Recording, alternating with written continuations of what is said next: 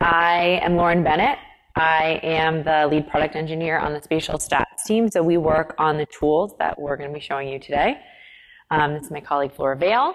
She is uh, an honorary member of the spatial stats team, um, but also responsible for um, building charting and other visualization capabilities into Pro, um, which is a really important part of kind of how we visualize the output of our tools. Um, so we're really excited as those capabilities continue to grow. Um, and this is Jenora D'Acosta. She is a real member of the spatial stats team and uh, responsible for our documentation. So it's a lot of responsibility on her shoulders. Um, and we're all really excited to talk to you about space-time pattern mining and space-time um, data analysis. Um, these are, this is really some of the newest stuff we've been, working on over the last few years. And um, they are tools that it's really just the beginning. We have kind of created this framework that's going to make it possible for us to do all sorts of things in terms of space-time analysis. So we'll talk to you about what's possible now. And, you know, we're always looking for feedback on what else you'd love to do or be able to do, what other questions you'd like to be able to answer using um, the space-time pattern mining tools. So in our in space in our spatial data mining one session, which was right before lunch, um, we talked a lot about quantifying spatial clusters. We specifically talked about hotspot analysis and cluster outlier analysis and how those work. And the idea that it's all about looking at, at our um, spatial neighbors and figuring out if our local average is different enough from our global average, average to be a hot spot or a cold spot, or in the case of cluster and outlier analysis, also looking for high and low outliers. So we do a lot. I mean, we all think a lot about looking for these kinds of spatial patterns. And they are incredibly powerful and they tell us all sorts of things about um, the data that we're looking at. But they are missing one thing, and that's time. So, how do we incorporate time into our analysis?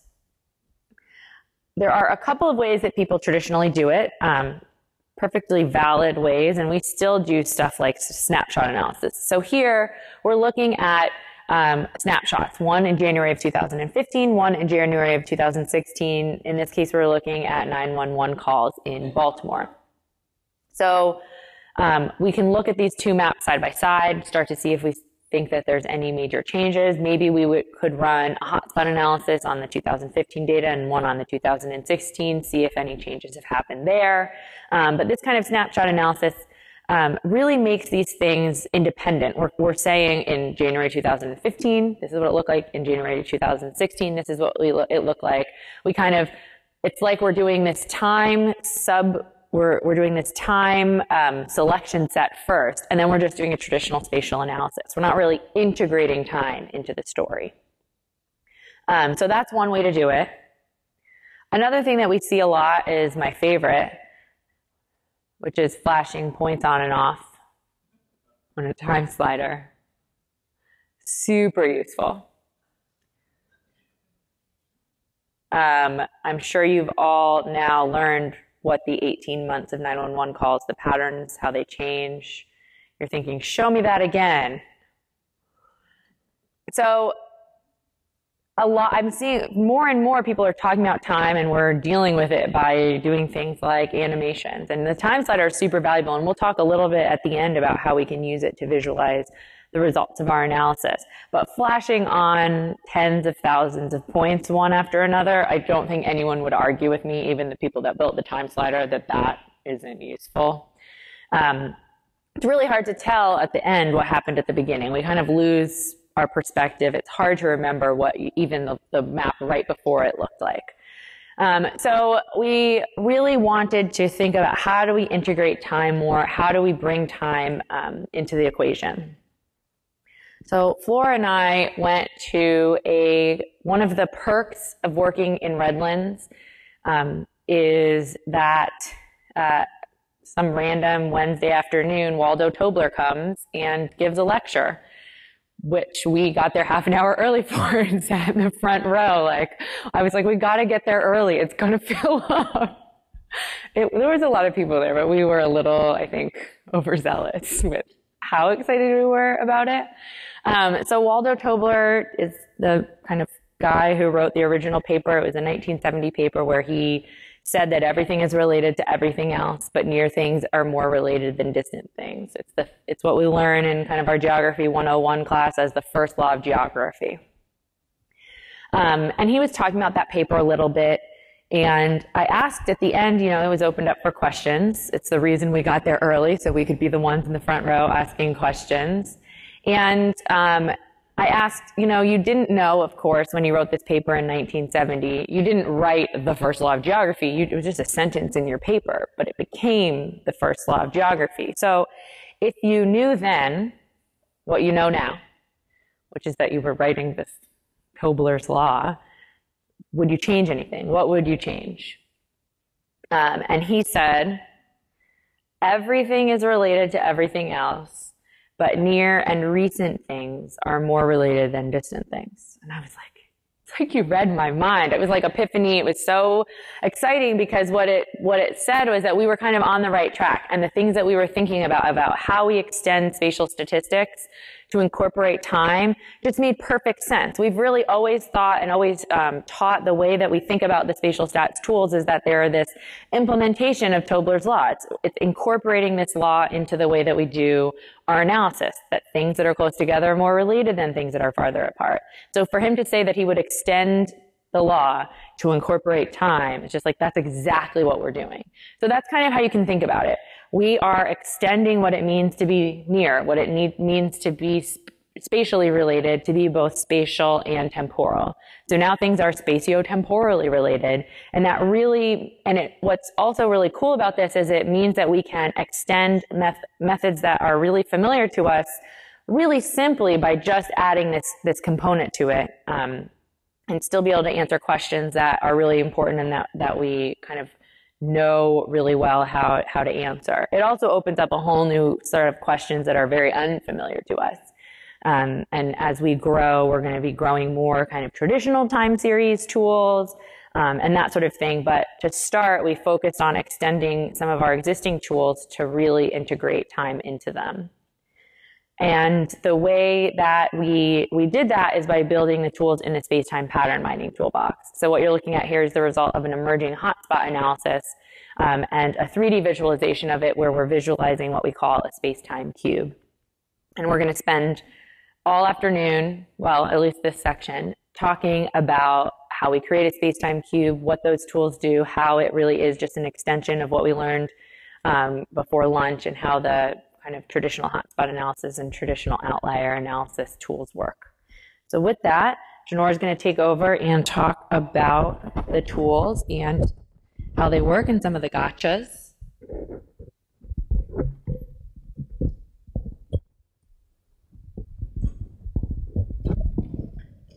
Okay, so the first step in um, in order to get our data into this type of format where time is really integrated, um, truly integrated into our analysis, we will need to create a space-time cube.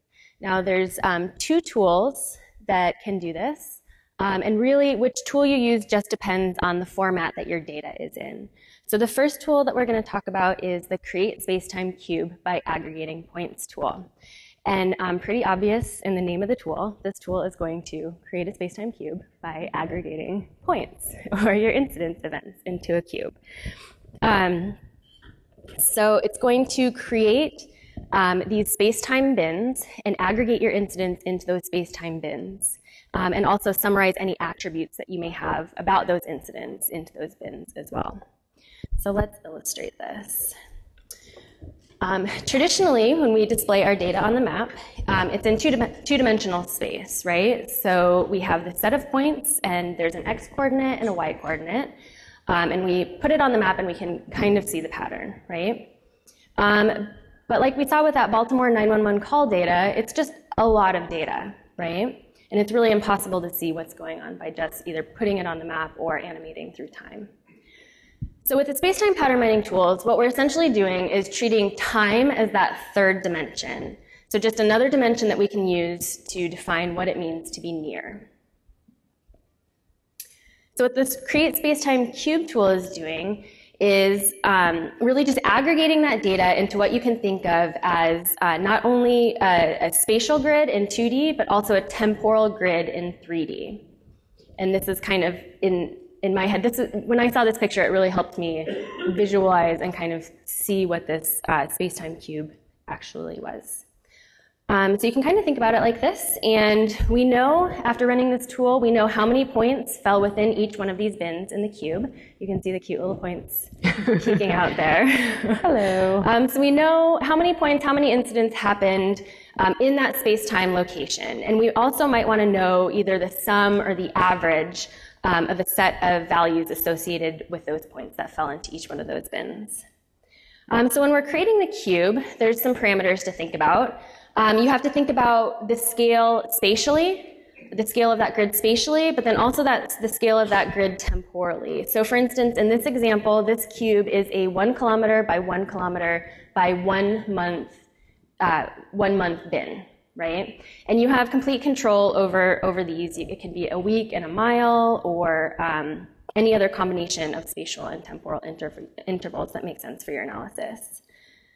Uh, so at this point, you've heard me use the term bin a couple times. Um, so I just want to take a second and um, define a couple of key terms uh, that we use when talking about the space-time cube, just so that we're all on the same page going forward. So each block of space and time within the space-time cube, we call a bin. Um, a column of bins that share a same spatial location is called a, um, a that share the same spatial extent is called a location. Um, so they share the same spatial extent on the ground, but then have different temporal uh, extents. And this is essentially time series information, right? So when we create the cube, we end up with time series information for each location in, uh, in our cube. Uh, the rows that share a temporal extent, we call a time slice. Um, and like Lauren was just talking about, these, these time slices in a lot of ways are just the way that we've already, uh, that we've always done temporal analysis in GIS, right? They're snapshots. So you can compare one snapshot to the next snapshot um, over time, which is valid and useful. Um, but in doing it that way, like Lauren was saying, we're saying that each time slice is independent. It kind of exists in a vacuum. It has nothing to do with what came before it, and it has nothing to do with came, what came after it. Um, just they're completely independent of different of the other time slices, right? But the space-time pattern mining tools um, are really integrating time in a tighter way, uh, with the time slices being interrelated in, in a 3D structure like this. So when you run the tool, um, the first thing we do, like I said, is aggregate, and we count up all the points, all the incidents that fell within each bin. And after we run the Create Space, Spacetime Cube tool and done this aggregation, we can kind of already uh, see and kind of start to understand our data a little bit clearer, a little bit better when you, do, when you view the data in this 3D way. And you can kind of start to visualize the patterns in your data that you wouldn't be able to see uh, otherwise if you're just flashing your points on and off the map um, or just like putting all the points on the map. Um, like I mentioned, you also have the option to aggregate any attributes that you have associated with those points. Um, and you're able to create what are called summary fields. So not only counting up the number of points within each bin, but then also summarizing any attributes that you have associated. So maybe you have um, online customer sales data, and you're not only interested in when and where those sales occurred, but the value, the sales dollars um, also. So, so, you can average the sales dollars into each bin. And there's a number of different ways that you can uh, calculate these summary fields. You can take the sum, the average, the standard deviation um, for any attribute that you want to calculate. So when you do analysis on the cube, um, one of the more important pieces that you're doing when you're running an emerging hotspot analysis or a local outlier analysis or even just creating the cube in the beginning is trend analysis. Um, and this gets back to the importance of those locations and that time series that information that we have for each location in the cube. Uh, so the statistic that we've been using for trend analysis is called the, Men, the Mann-Kendall statistic. And one of the requirements of this statistic is that you have a complete time series. So you can't have any empty bins. We can't just pluck out two of those bins and um, do a trend analysis. It doesn't work that way. You need a complete time series. So what do you do if you do have empty bins? We have to fill them in. Um, so if I'm looking at crime or water usage and um, I, have, I have a location that has data, data, data, then missing data, and then data continuing on that, on from there, I have to make a decision. What does it mean that there were no points that fell into a bin at that time and place? So if I'm aggregating and I'm looking at crime incidents, the fact that no incidents fell into that bin probably means that there was no crime at that time and place, right? So I could choose to fill in with zeros.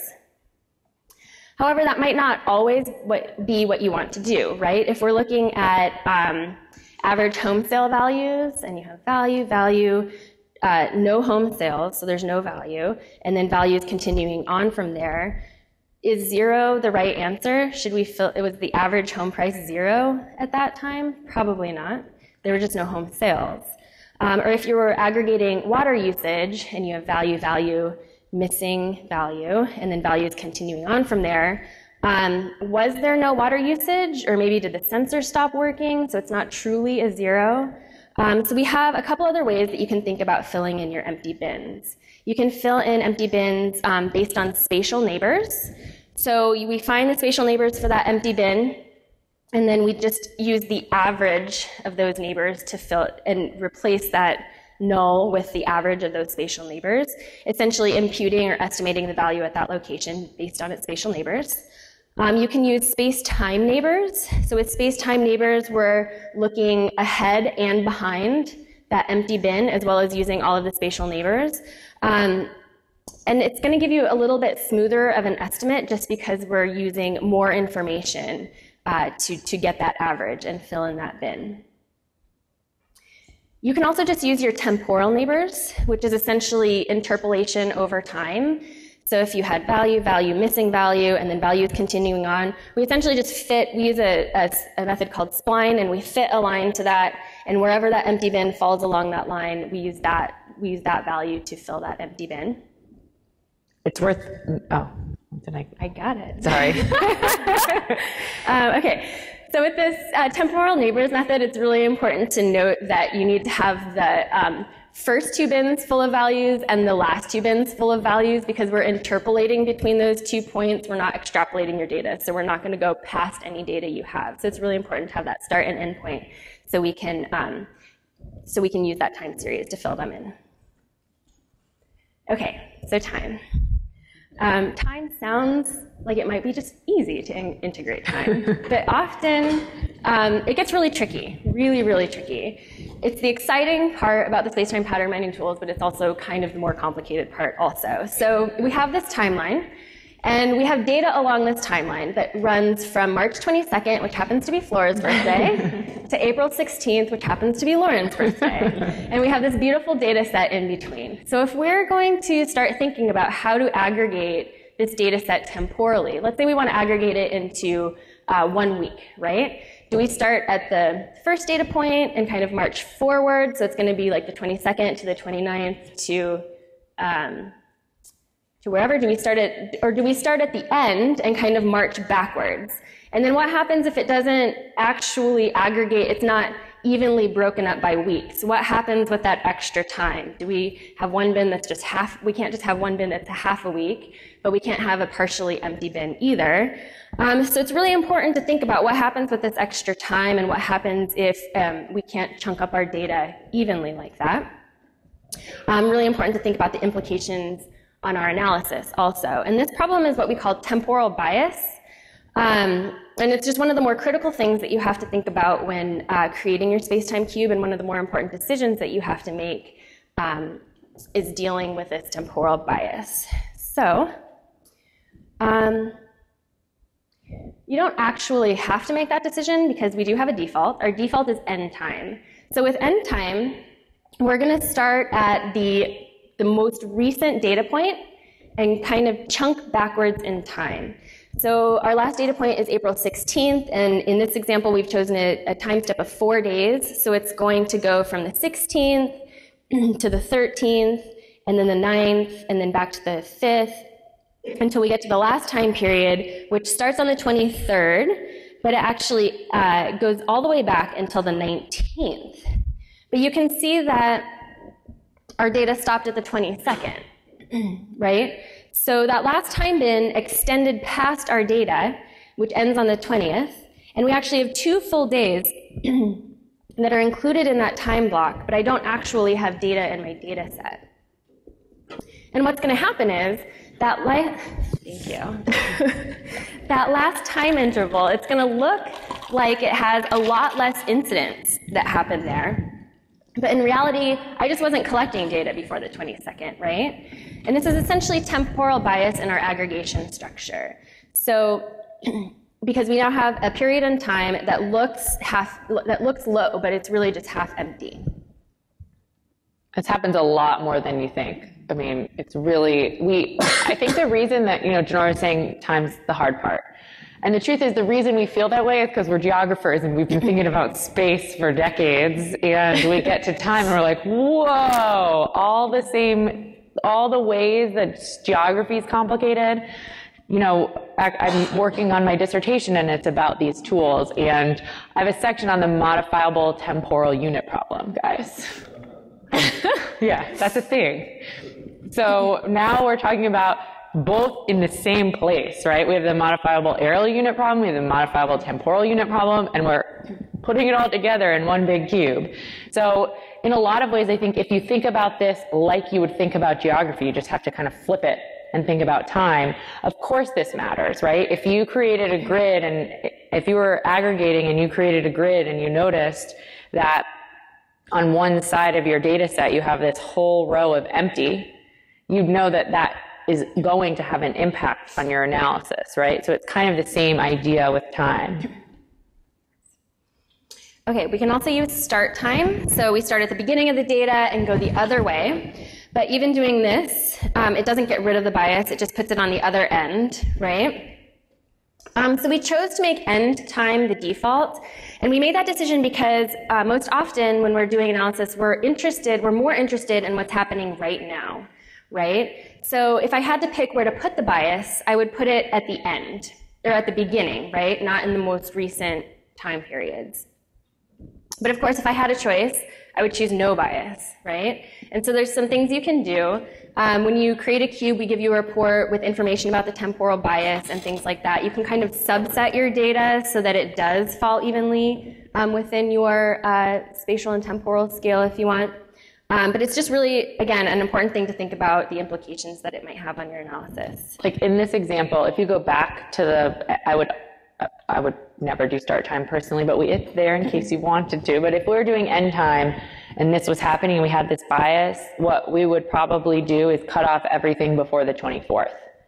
Because at the end of the day, we're, we're impacting our analysis way worse by having a half full beginning. Because if we're looking at trends and the beginning is falsely half full, that's going to tell us that there's been more of an increase than is truly real. It's going to be this false increase. I mean, granted, it won't be that bad because that trend analysis isn't just doing like a, a difference where it takes the last period and it takes the first period and it subtracts them. It's truly looking for a trend. So if there isn't a meaningful trend throughout, it shouldn't, it, it, it won't be as impactful as if we were just doing a difference between the first and the last. But it, it will make a difference. So if you just drop the ones that kind of fall unevenly in your group and, and cut off those two days worth of data, now you'll have full, full time periods, full bins. The alternative would be to pick a, a way to chunk it that cuts it off evenly, right? But most of the time, the reason you're chunking it the way you are is meaningful more meaningful and you want to keep those chunks the right size and you just get rid of a couple of days worth of data or, or weeks or months, whatever the case may be. The only other thing I want to add is um, you also have to be careful about uneven time breaks. So if you're doing it monthly, some months have 31 days, other months have 28 days, and those Februarys are going to have three whole days less data than the January right before it. That's the other thing that's kind of that's a really yeah. important part. Really important Everyone part. wants to use months, and of course we have months in there, but like, do you really want to use months? Just think about that. It sounds good. It's very messy though. I mean, weeks are okay, but months and actually years are a little messier. When we started doing this, at some point we were like, oh my gosh, we have to deal with leap years.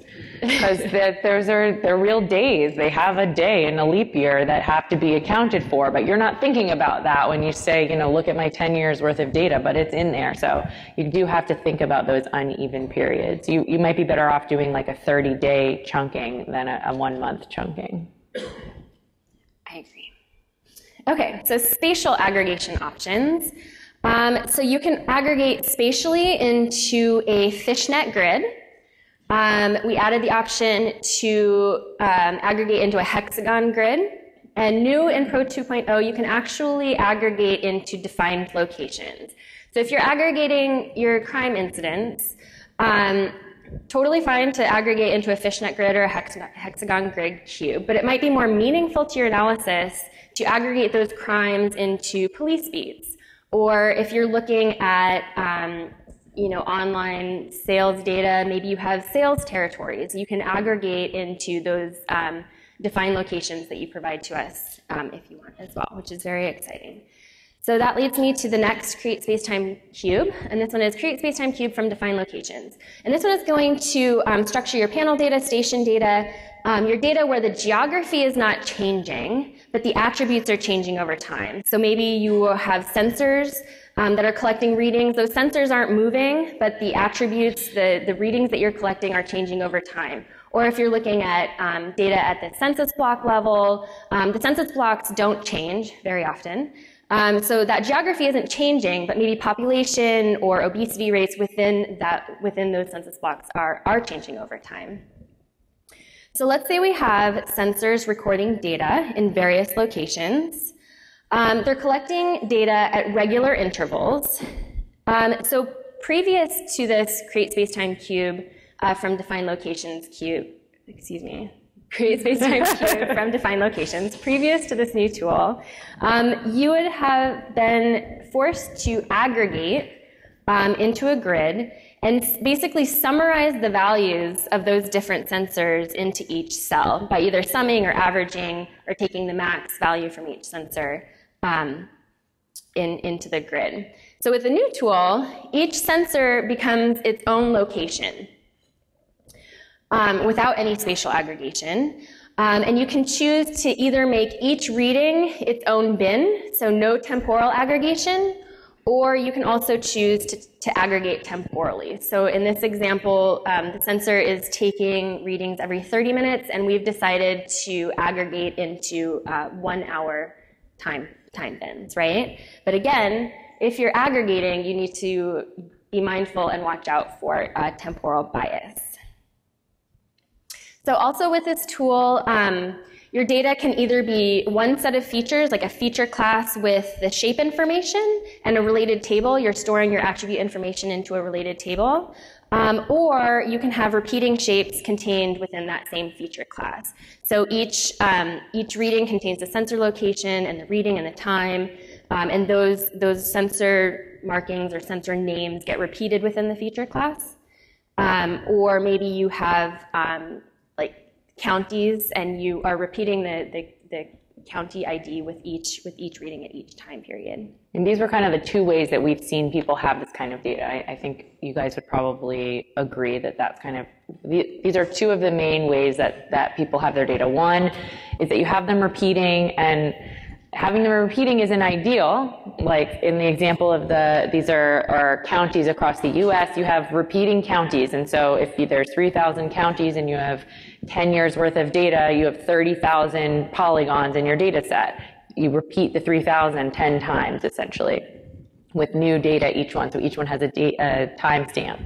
Um, you have to do that, for instance, if you want to use a time slider. So a lot of people do have their data in that format so that they can bring it into ArcGIS and take advantage of it. Then the alternative is you just got that one shape and then you've got the related table. We know that there's a third way, which we originally were thinking about um, directly supporting in the tool, um, which is that you've got your you've got a set of counties, let's say, and instead of having them repeat or a related table, you have columns for your date time. So you've got income 1990, income 1991, income 1992. So your your temporal data is held in columns.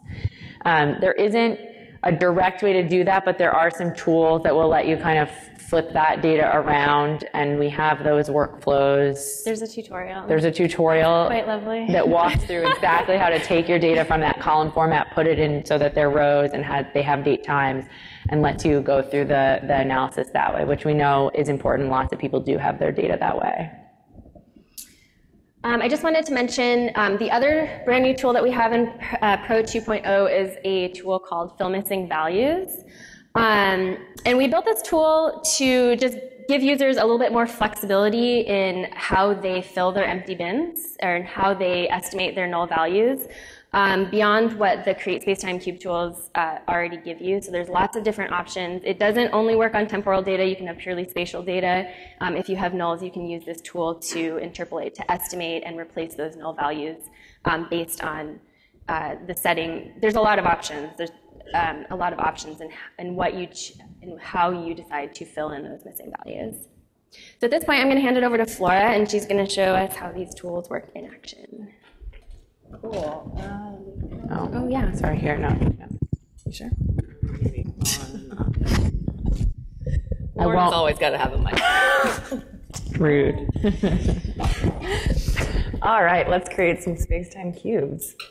Um, so here I have a data set. These are school districts, and we have information for every school district about the childhood poverty rate. So a very serious, very important problem. And we have um, this data set right here. It's just the shapes for the school districts. And then we have a related table with data for each of these school districts over 16 years. So if we look over here, we have the same ID repeating 16 times. And if I scroll over a little bit and include the date, we can see um, in one year increments, we have the childhood poverty rate for every school district for 16 years. So we're going to use the new uh, create space time cube from defined locations tool. But really quickly, I just wanted to open up the old tool. Has anybody used the create space time cube tool? It used to be called just create space time cube, and now we had to change it. So a couple of people.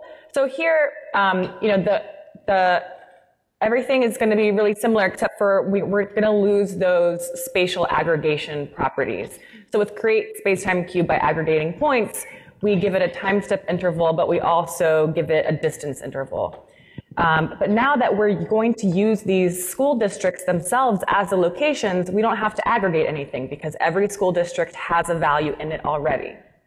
So I'm going to use create space-time cube from defined locations, which, by the way, is so exciting ever since we um, started with the space-time pattern mining tools. Everybody's been asking about this, and I've been really wanting to explore data that, you know, I, I, I personally look at a lot of um, human behavior data, health data, that sort of thing, and it's usually already aggregated into some sort of political boundary. So it's really nice that we don't have to aggregate school districts into a fishnet grid anymore to analyze this sort of thing.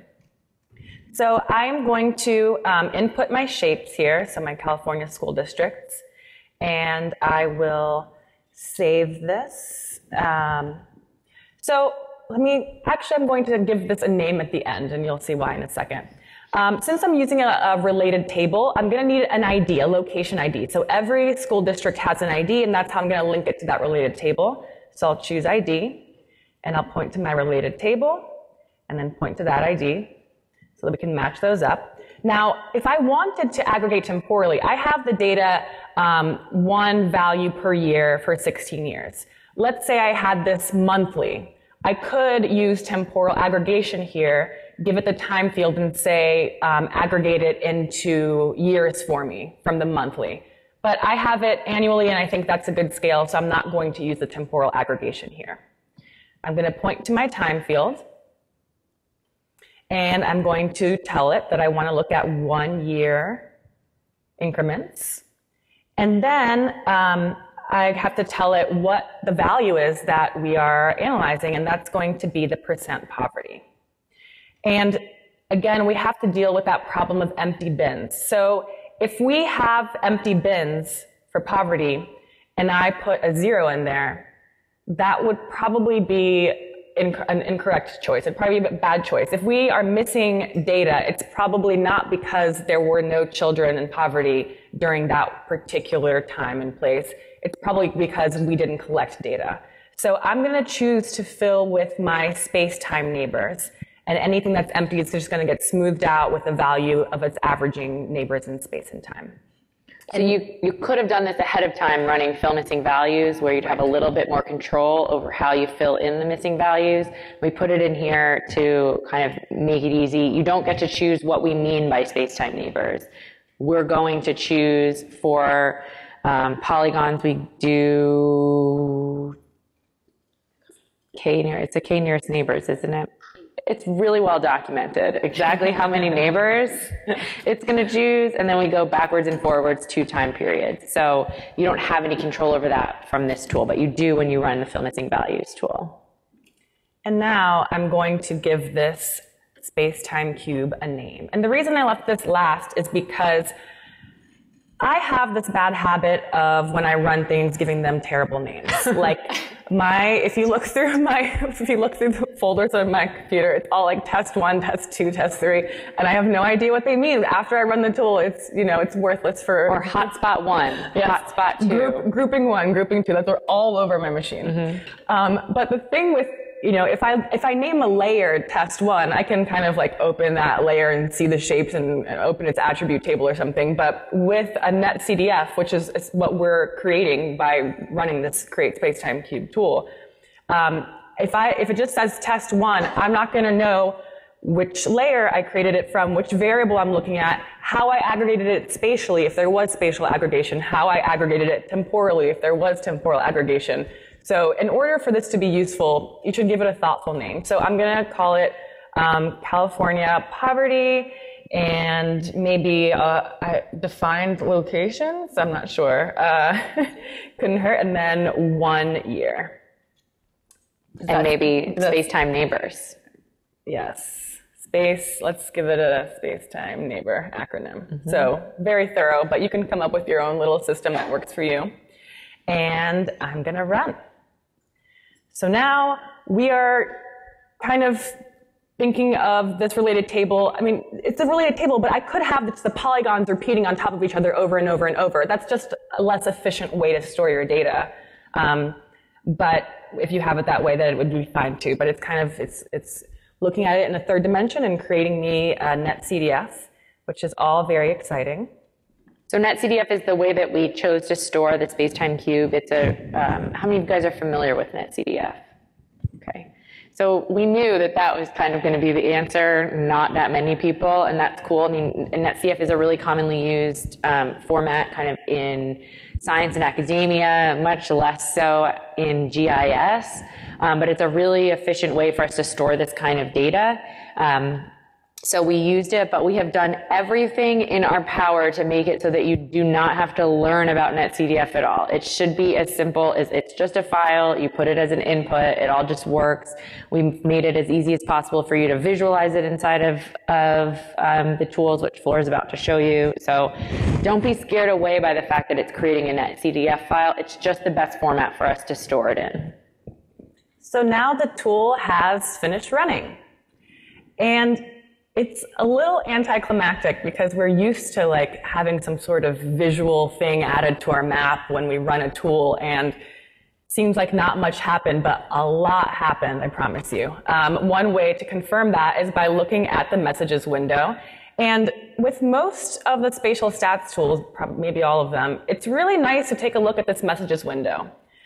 I have to admit that before I worked for Esri, I really rarely, if maybe ever, looked at the messages window when I ran a tool, but we give you, we, we think so much about what to put in here. Like we spend hours in meetings yes. talking about how to word what the messages tell you in here because we want you to understand it um, and to have the information. So in here, it's going to tell me that we had 16 time steps. It's going to tell me that we did one year chunks and had an end time step alignment. It's also going to tell me the number of estimated bins lots of great information about um, the cube. If we have an overall direction and trend, and we do see that overall we are increasing our child uh, poverty rates, which is unfortunate.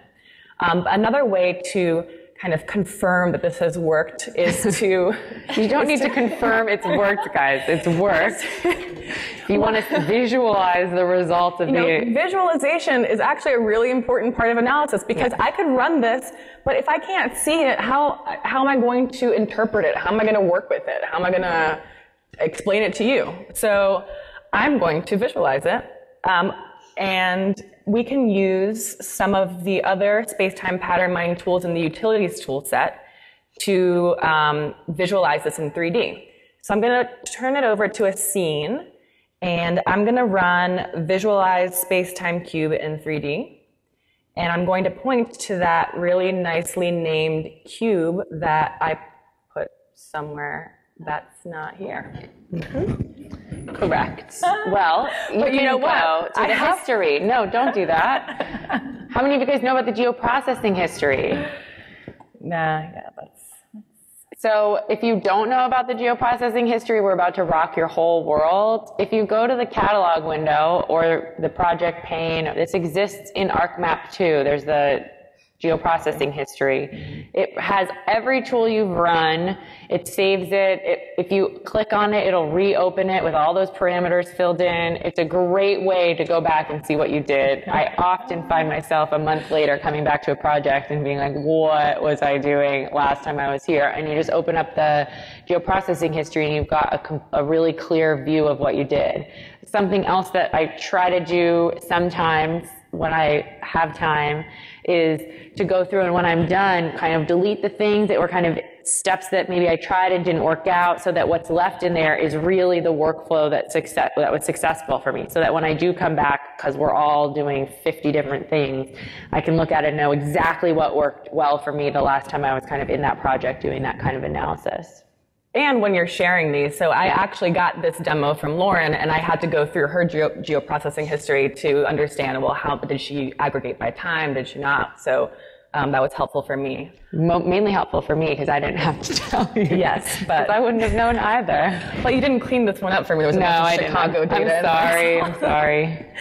So I ran Visualize uh, Cube in 3D, and um, we got a layer here. It's always good to go to the Appearance tab and uh, clear the visibility range limits because we, we have that default limit because not everyone has a powerful enough graphics card. I mean, any graphics card is going to max out at some point. Um, so we have that default on, but you can easily clear those limits.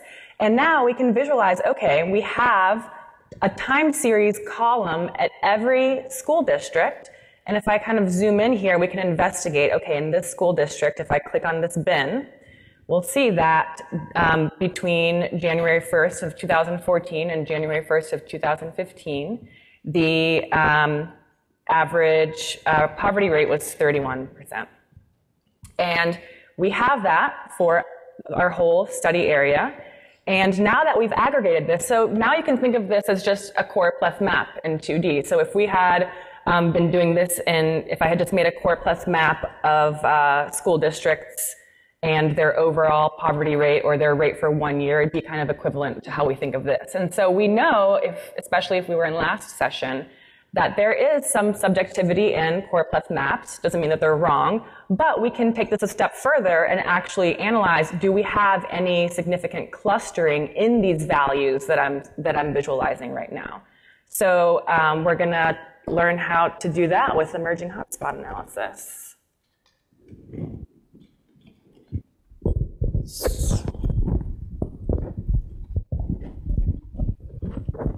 Okay. So after we've created a spacetime cube, we can run some of the other spacetime analysis tools on this cube to really start to dig in and explore um, some of the spatiotemporal patterns, spatiotemporal patterns that exist in your, data. So emerging hotspot analysis is um, one of these tools, and what it does is it really it, it, it, just extends the hotspot analysis tool that we talked about in the last session, the session before lunch. Um, so it's, it's, essentially a space-time interpretation of the Getis GI star statistic. So let's look at how that works. Um, so we have our aggregated cube with the most recent events on top and uh, the older events at the bottom. And in our previous session, we looked at the concept that we can define a neighborhood in space and we can see that here. So this is how the traditional hotspot analysis works. Um, but now instead of just defining the neighborhood in space, we're also defining the neighborhood in time. So we're looking at each bin in relation to both its spatial neighbors and its temporal neighbors going backwards in time. So now a point or event is only related, uh, is not only related to features that happen nearby in space, um, and also within your specified temporal neighborhood. And we go through the cube bin by bin, and each bin is analyzed in relation to its space-time neighbors. And we're asking that same hotspot analysis question. Is this neighborhood significantly different from the rest of the study area? And if it's significantly higher, it's marked as a hotspot.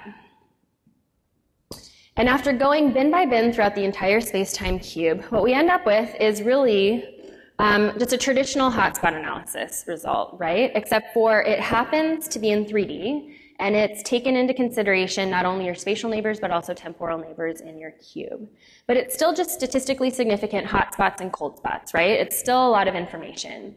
So the output of the tool, um, to help with this interpretation of, of the, this hotspot analysis results, um, we, we're going to categorize each location based on the hot and cold spot trends over time for each location. So we're categorizing each location into one of these 17 categories on the left-hand side that summarize the, the trends at each location in the cube. And it's really useful to look at the 2D and the 3D results together, I find. So um, we put the 2D result on top of the 3D cube, and you can see that the categories, you can see more obviously that the categories really are just a summary of what's happened at that location over time. So if we look at this location in the front corner, um, that one has been marked as sporadic hotspot. And you can see that it was hot at the beginning and then, then nothing, and then hot again, then nothing, then hot again. So it's kind of on and off um, sporadic, right? Sporadic hotspot. The location next to it has been categorized as a new hotspot. And if you look at what's been going on over time, it's been not significant until the last time period when it was hot. So it was marked a, a new hotspot. So let's see how emerging hotspot analysis works. Okay, now that I've aggregated my data, I can analyze it. So I want to run a hotspot analysis on this space-time cube. So what I'm going to do is go to emerging hotspot analysis. And again, I'm going to have to input that space-time cube. So I'm going to have to remember what it was called and also where I put it. but luckily I copied it so I can just paste that back in there from the results window. Uh, my analysis variable is going to be um, the poverty rate, the, the child poverty rate. I'll give my output features slightly better name, emerging hotspot analysis one. Um, it's a great name. just in case I already had emerging hotspot analysis in that database. Um, and then I'm going to accept the defaults and run the tool. So I could choose um, how, how, I want to conceptualize these spatial relationships, or I could accept the defaults that the tool chooses for me by looking for different peak distances, etc. So the default output for emerging hotspot analysis is in 2D. And let's look at it in the 2D map. Okay, so we see here that we have this um, really long legend, a lot to make sense of. Um, but the reason that we did this was because if we gave you this result in 3D, then it would be almost impossible to understand because every single bin is going to have a level of significance. It's either going to be one of uh, three levels of hot significance, 90, 95, or 99, three levels of cold or not significant. So if we're looking through hundreds of thousands of millions of bins, we're not really going to understand this without digesting it in some way. So that's what the 2D output is doing. So if we take a look over here, we're seeing a lot of intensifying hotspots. And intensifying hotspots, that means that that location, so that school district, has been significantly hot at least 90% of the time over those 16 years.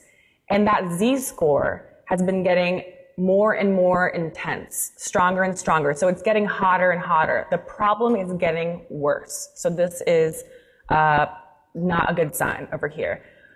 If we if we zoom down a little bit over here, we see what we call oscillating hotspots. So that means that in the most recent time period, they were hot, but in the past, they have been cold before. So maybe it was cold for a while, not significant, and then it ended up hot, or maybe it was cold, hot, cold, hot, cold, hot. Um, but to really understand what it was, we can visualize this in 3D as well. So I'm going to go back to the Visualize Space-Time Cube in 3D tool. And I'm going to input my same cube, which I'm going to have to recopy from my geoprocessing history.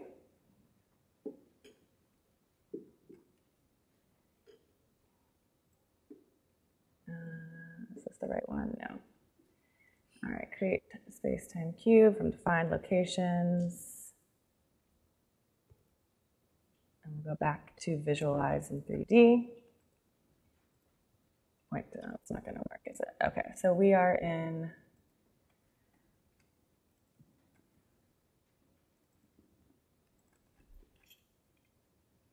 for Jenora, common data. Sorry about this, guys. and we're just going to use this one. All right, the cube variable and our display theme is hot and cold results. So with um, the space-time cube, whenever we run an analysis, it gets written back to the original cube.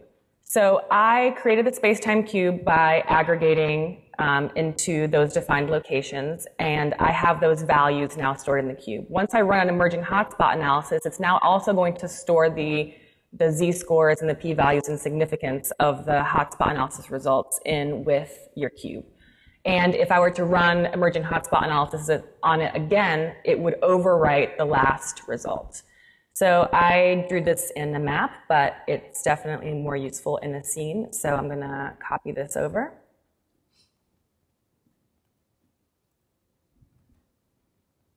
And we'll clear our limits, and now we can visualize um, this in 3D. And so if I put these side by side and link my views, so if I go into view, link views. Now I can kind of navigate these together and get a better understanding of what's happening at each one of these school districts. So if I zoom in down here, I can see these intensifying hotspots and I can confirm what they mean by looking at the individual bins. I see that they have been hot um, for at least 90% of the time and that z-score has been getting hotter. Um, another cool thing about running the uh, Visualize Space-Time Cube in 3D tool is that we automatically generate a time series chart for you. Um, same thing when I when I visualize just the counts, but if I look at the time series chart for the um, hotspot analysis results, we see how the z-score has changed um, over time. So we see that um, it, there was like a very large increase over several years here. And then we can also interact with this. So if I want to take a look at this peak year, I can select it here in the chart and see where that falls in my um, 3D scene and see which time slice that corresponds to, which is pretty neat. And then one last way of looking at this, which I like with this type of defined locations cube, is if I put a 2D layer underneath with my results, I can kind of see them together um, without having to look at the side by side. So if I dock this back over here and zoom around a little bit, we can find um, maybe one of those oscillating areas, school districts. So, so we see that it, the most recently it was hot, but in the past there was a time period when it was cold. And so the, the 3D by itself really wouldn't be very useful, but it's very useful in helping you understand the 2D result. And with this 2D result, we categorized this in ways that we thought would be useful.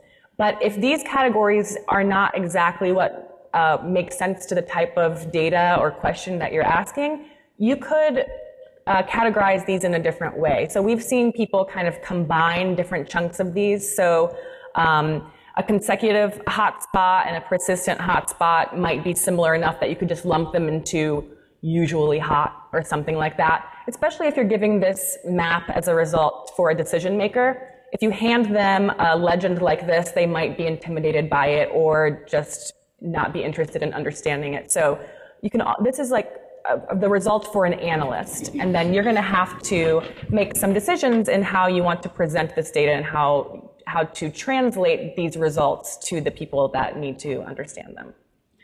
The first time that I showed these tools to Jack um, in one of our director's briefings, I was so excited and I showed them, look at all these categories and I can learn everything there is to learn about this data. And he was just like, that's too many categories. And, you know, I was, of course, immediately, no, it's, ne- it's never too many categories. Um, but then I kind of put on, I tried to look at it from his perspective as an executive, as a director trying to just make a decision. You just want to know what's important. So like we've, I've done some work with um, World Resources Institute looking at deforestation.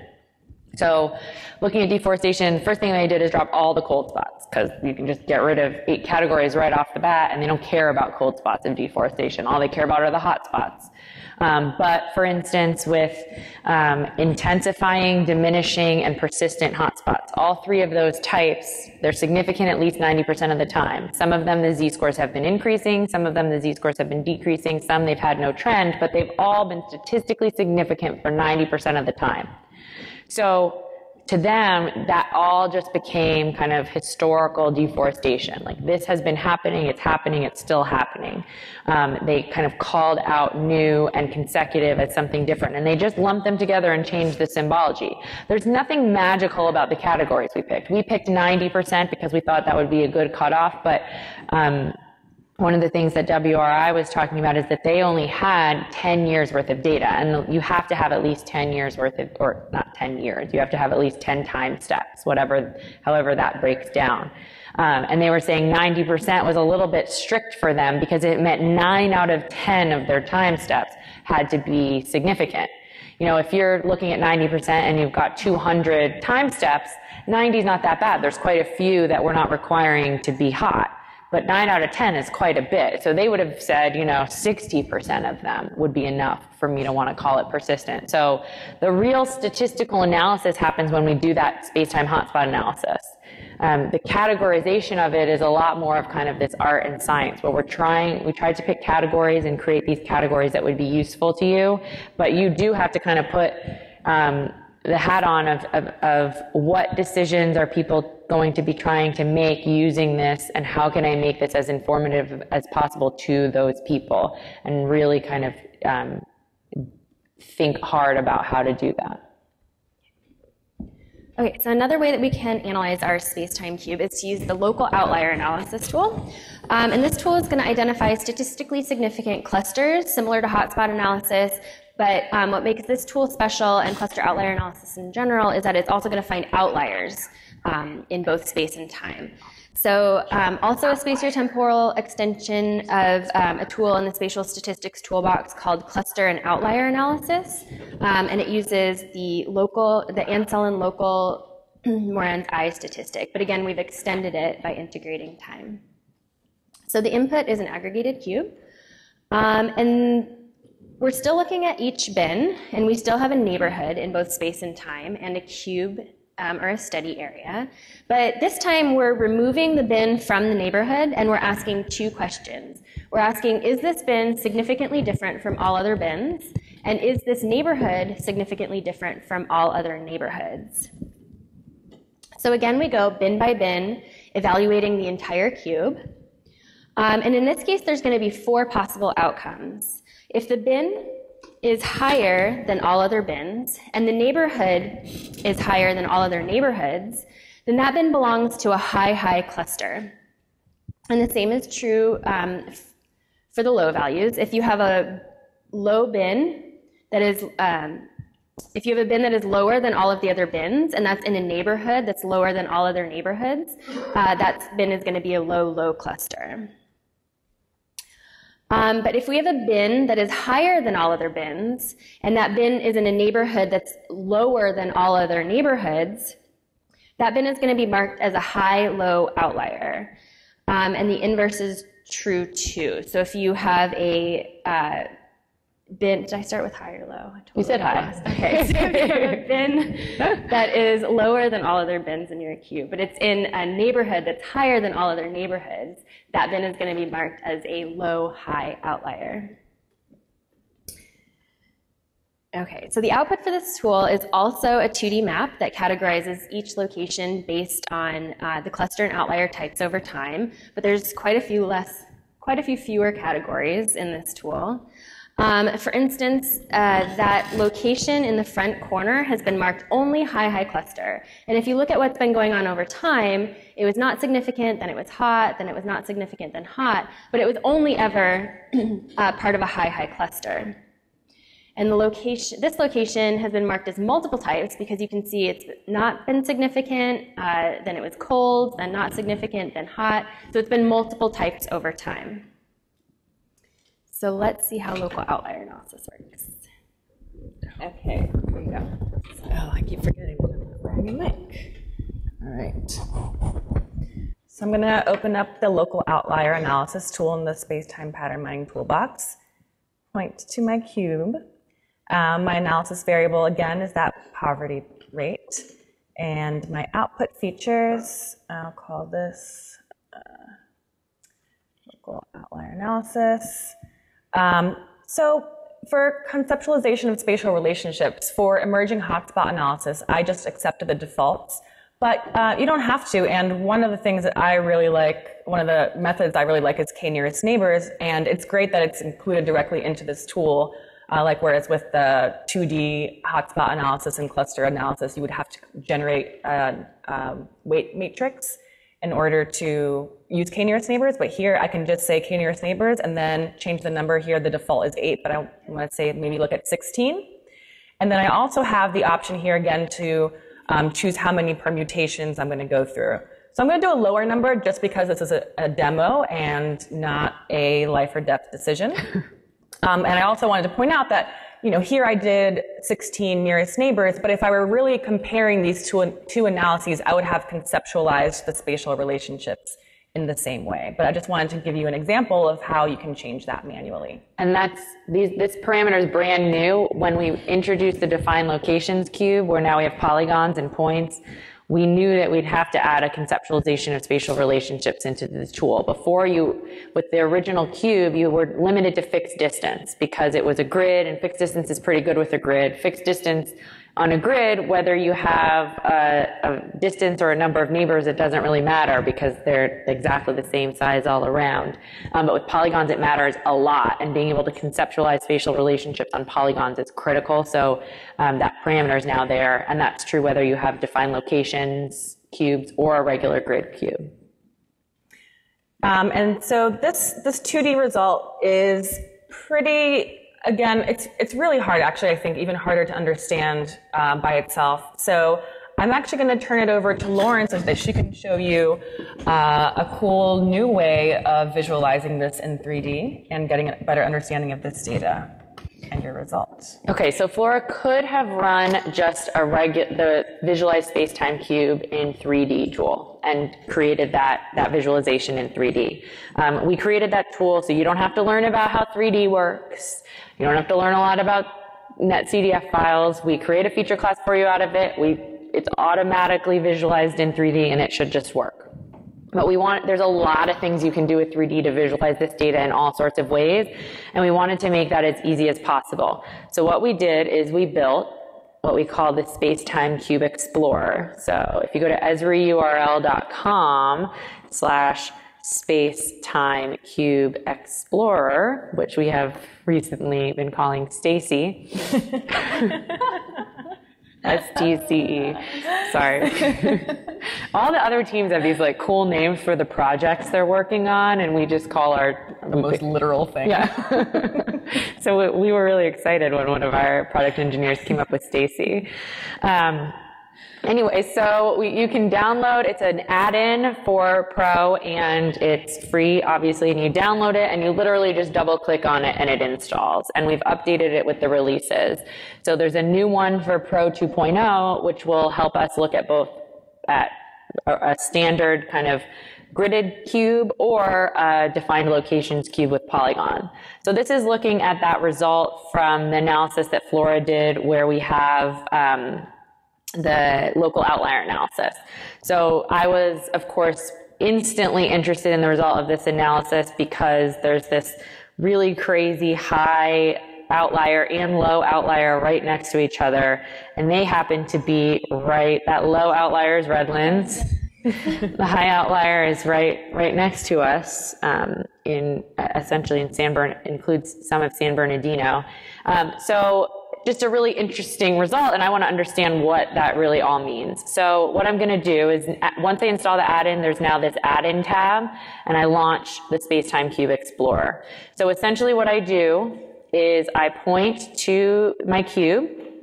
So in this case, I've got California poverty analysis. I choose where I want to put it. So this is going to be my California poverty and I'm going to start by um, doing points, and you'll see what I mean in a second. And I want to look at my local outlier analysis results. Now I have some options for how I want to output this. I can output it as points, which will be the centroids of my polygons, or I can output it as polygons. I'm going to start with points. I'll show you polygons in a minute. So we will run that. And it's going to do, essentially, it's doing a lot of what the visualized spacetime cube in 3D tool does. It takes that, that CF file, turns it into a point feature class, outputs it, and, and allows us to visualize it. So right away, we can start to see um, kind of what these high and low outliers. So we can see that this is a high outlier. It's been a high outlier, then it was nothing high outlier, and it's not really an outlier anymore, which on first glance seems like maybe that's a good thing. Um, but actually, when we start to look at it, um, what we see is that's what, hap- what happened was it was a high outlier and Redlands wasn't anything. And then all of a sudden, this area with Redlands became a low outlier. And what was happening was all around it, and we can see that around here, only recently have these become hotspots, essentially. So they were, San Bern- the San Bernardino area was a high outlier because it was surrounded by low poverty. But over time, the poverty around it has increased. So now it's not a high outlier anymore, and all of a sudden Redlands became a, a low outlier because everything around it became hotter. Um, so we can start to see some of those patterns, and it actually becomes uh, extra apparent if we look at. Um, so I did I did this also for the hotspot results. So if I point to my hotspot results, and I choose to look at them instead of as a value, but as um, hot and cold spot results, I can see that pattern also really clearly here, where it was cold, and then in more recently, everything kind of became hot around it. So what you'll what you probably notice me just do is start flipping between different ways of visualizing this data. So if we go back to our outlier analysis, we can look at it as our local outlier result over time, but I can use the Explorer to actually change the way I'm visualizing my data. So I choose um, the layer in my map that I want to visualize. I choose the attribute and then I have some options. So I can look, for instance, just at the values. Um, and it's just going to automatically change my symbology for me. Or I can look at the results. I could even do, uh, instead of just looking at all the results, I could filter by type. And what it's doing when I choose to filter by type is it automatically sets up a range slider for me. So I can go through here and look just at the high outliers, for instance, and see where those are and kind of filter them down that way. Um, I also have the option when I'm looking at a, um, when I'm using the Explorer to let's say I go back to my hot and cold, but I want to, instead of looking at all of them at the same time, I want to look at a single time slice. So I can, what it just did for me there is set up the time slider for me. So automatically it's going to, and if I shut off the layer underneath it, so automatically it's going to show me, um, and I can play through this and it's going to turn that layer on, those, those cells on one by one and show me how the pattern has changed over time. Now it doesn't, if I'm going to do this you're probably thinking, I'd much rather look at that as polygons than the centroids. The centroids are great for when we're looking at um, The centroids are great for when we're looking at 3D. And the default is points, and we recommend points for 3D primarily because of performance. Visualizing a lot of polygons in 3D is visualizing a lot of data at one time. Um, and you're going to want a really beefy graphics card to make that work. Um, so, but it is possible. So if I go in here and instead of points, I choose polygons and I run that going to create a new layer for me. You'll see we actually tell you to switch to a map for better performance because with polygons, the thing we recommend most is if you want to use polygons, do it in kind of that time series way so that you can watch how the pattern's changing over time in a 2D map. But it will visualize them in 3D um, if you choose not to put them in a uh, in a map. So it's going to go through and essentially it's creating a feature class where those polygons repeat because that's the only way we can get it to visualize all those polygons in 3D is with repeating polygons in a feature class. Now, we almost didn't give this option because of the requirements on graphics cards. Um, and just what the performance would be like. But, and not just that, actually. The, the other thing is, it's not all that useful to visualize them in 3D because they butt up against each other, guys. So you can't see inside the cube. So you're just looking at this pretty picture that's not really useful from an analysis perspective. And you'll see what I mean. You know, it looks cool, but you can't see it. I can see inside of it as it's drawing, but once it draws, they butt up. It's just a big chunk of polygons that's killing your graphics card and you're not getting anything out of it. Um, you're welcome. Yeah, but the reason that we did it is because the one thing it is very useful for is explaining it to somebody. If you're trying to explain to somebody what a space-time cube is on polygons, this is a great way to do it. Anyone who sees this will just kind of automatically understand what we've done when we created the cube. So we know that you guys being able to explain this to somebody is really important. So we've done it so that you can, but from an analysis perspective, looking at them as the centroids is so much more useful from actually exploring the data perspective. But if I take those polygons and I put them into a, a map instead of a scene, then I can go into my Explorer here, choose that layer, choose my attribute, and it's going to set up the time slider for me. Oh, perfect. it's almost like the computer's telling me something, like, you are running low. So when I hit play, what it's going to do is it's going to um, show me how that pattern's changed over time. And we can start to see particularly some of the things that we were talking about as far as like the San Bernardino Redlands area where it wasn't that hot and it got kind of got hot over time. It's going to go really fast and super useful. It is actually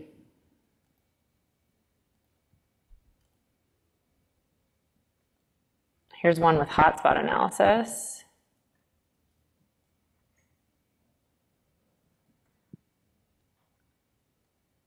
and we can see each um, time period.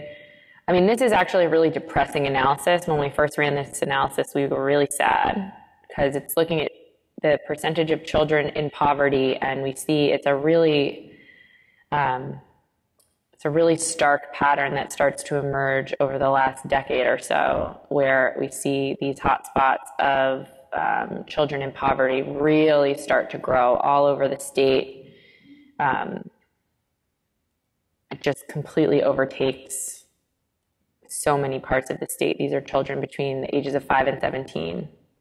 Um, and actually, we started this analysis by looking at the entire country. And when we did that, the kind of story that it tells is I mean, we were, on one hand, we were excited. This was kind of the first analysis we did once we finished the defined locations cube. And we've wanted to do space-time analysis on polygons since the beginning. And so when we first ran, it was like, we can do it. It's amazing. And then we looked at this map and we were like, oh my gosh, all of these red ones are intensifying hotspots, places where the clustering, the intensity of clustering of childhood poverty is increasing over time. There's very little blue on this map at all. And the parts that are are getting closer and closer to random. So they're, they're almost not even blue anymore.